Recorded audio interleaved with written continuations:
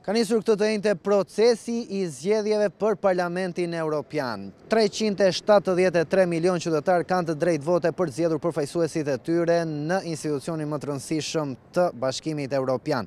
Të parët që votojnë janë holandezët për të vijuar më pas me shtetet e tjera, ndërkohë që procesi kulmon në datë 9 qershor, ku 22 shtete votojnë për përfaqësuesit e tyre. Në qendrën e BE-së në Bruksel interesi për zgjedhjet është i madh.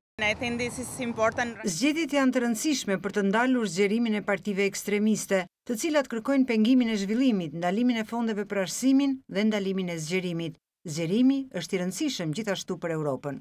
Zgjedhjet janë shumë të rëndësishme për edukimin fillimisht, pasi duhet të kemi mjaftueshëm fonde për edukimin, LGBT dhe të drejtat e njeriut.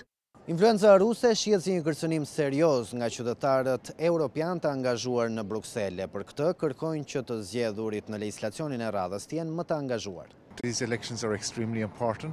Këto zgjedhje janë shumë të rëndësishme pasi demokracia jonë po sfidohet. Ne po sfidohemi nga forcat e jashtme dhe duhet të qëndrojmë për të drejtat tona.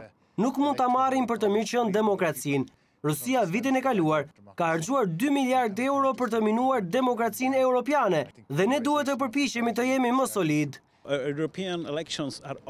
Zgjedhjet e Bashkimit Evropian janë gjithnjë të rëndësishme, por këtë herë janë edhe më të rëndësishme, sepse kemi agresionin rus në Ukrainë dhe është e domosdoshme që të japim një qëndrim të qartë, se Bashkimi Evropian është i dedikuar në integrimin e shteteve kandidate, të cilat kanë kohë në këtë proces, por dhe shtetet e tjera të cilat i janë bashkuar rishtazi procesit, kështu që është e rëndësishme që të japim një mesazh për rëndësinë që ka Bashkimi Evropian në rang botëror me zgjerimin dhe bashkimin e shteteve të tjera. Në këto zgjedhje pritet që pjesëmarrja të jetë edhe më e madhe se në vitet e kaluara, kjo për shkak të ndërgjegjësimit të qytetarëve europianë për rreziqet që i kanosen Unionit.